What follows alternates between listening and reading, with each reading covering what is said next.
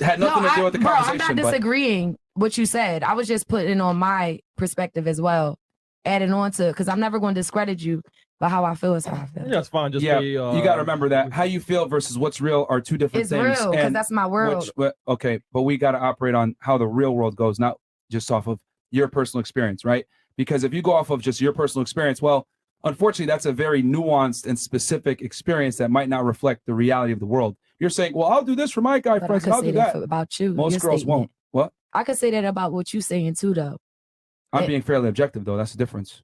I'm speaking in Mm. generalities. I'm not speaking you from more my own opposed specific. than with.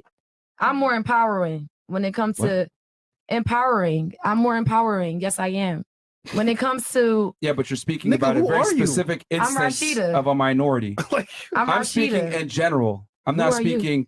From my own specific experience because speaking from your own specific experience, right, is not a good move, especially when you're a minority, which is why I don't attribute how the world works to my personal experience.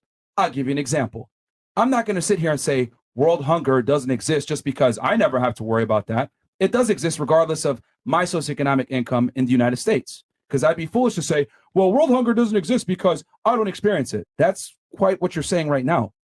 I felt like you was just forgetting about the women that actually work hard out here and actually can put something to the table. It's a minority. No, but what I was no, you trying to flip what I was saying and use it to You your own literally advantage. said it was a minority. You trying to flip what I was saying and trying to use it to your own advantage. So you're not trying to let me explain what I was saying. So I'm gonna let you run the show. Go ahead.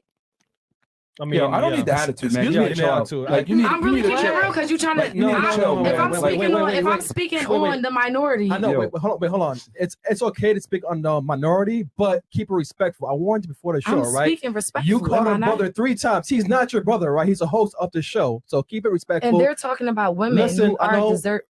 I know, I know. Just Take- relax. I told you take a deep breath. Just relax. Take a deep breath. Just relax. Take a deep breath.